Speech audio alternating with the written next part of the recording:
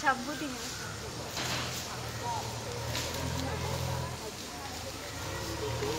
Thank you.